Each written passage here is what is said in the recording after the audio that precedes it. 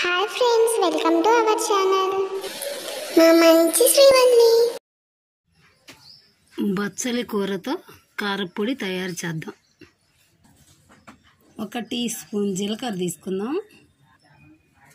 టేస్ట్కి సరిపోయినంత ఉప్పు కొంచెం కారం ఒక పావు కప్పు శనగపప్పు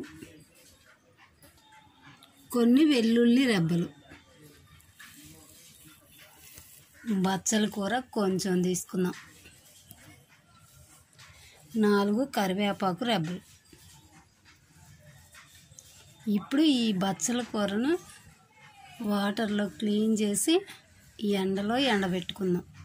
అలాగే కరివేపాకు కూడా ఎండబెట్టుకుందాం.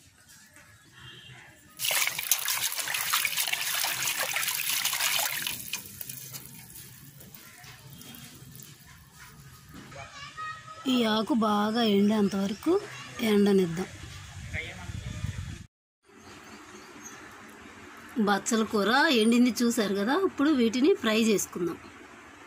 కరేపాకు బచ్చల కూరని. లో ఫ్లేమ్లో ఉంచుకొని వేయించుకుందాం.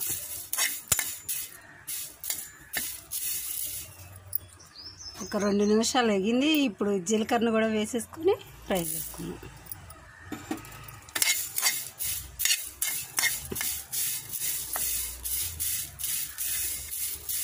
ఒక ఐదు నిమిషాలు ఇలా ఫ్రై చేసుకుంటే సరిపోతుంది.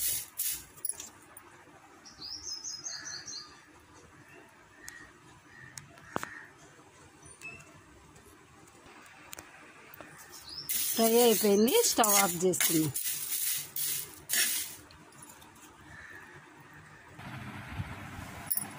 ఇప్పుడు శనగపప్పు వేయించిన బచ్చల కూర అలాగే టేస్ట్కి సరిపడా ఉప్పు కారం కూడా వేసేసుకొని పౌడర్ చేసుకున్నాం వెల్లుల్లిని కూడా వేసేసుకున్నాం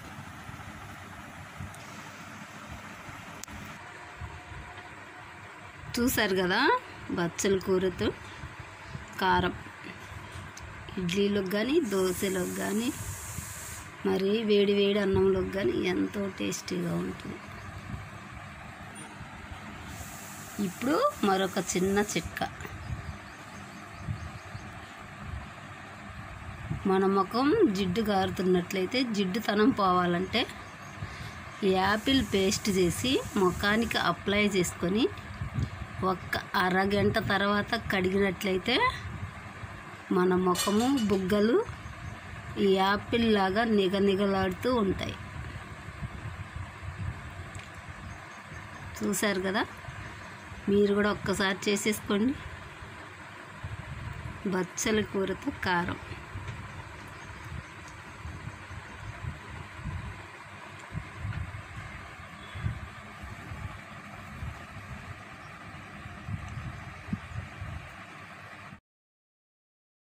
మా వీడియోస్ మీకు నచ్చినట్లయితే లైక్ చేయండి షేర్ చేయండి తప్పకుండా సబ్స్క్రైబ్ చేయండి. Thank you for watching.